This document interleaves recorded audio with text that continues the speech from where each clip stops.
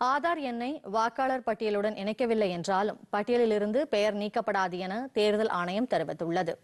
இது தொடர்பாக டுவிட்டரில் விளக்கம் அளித்துள்ள தேர்தல் ஆணையம் வாக்காளர் சேர்ப்பு தொடர்பான படிவம் ஆறு பியில் ஆதார் எண்ணை தெரிவிப்பது கட்டாயம் அல்ல என்றும் வாக்காளர்கள் தாங்களாகவே முன்வந்து அதனை தெரிவிக்கலாம் என்றும் கூறியுள்ளது.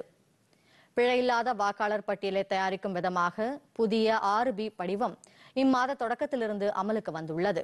இதில் ஆதார் எண்ணை இணைப்பதற்கான பிரிவு புதிதாக சேர்க்கப்பட்டுள்ளது என்றும் தேர்தல் ஆணையம் தெரிவித்துள்ளது.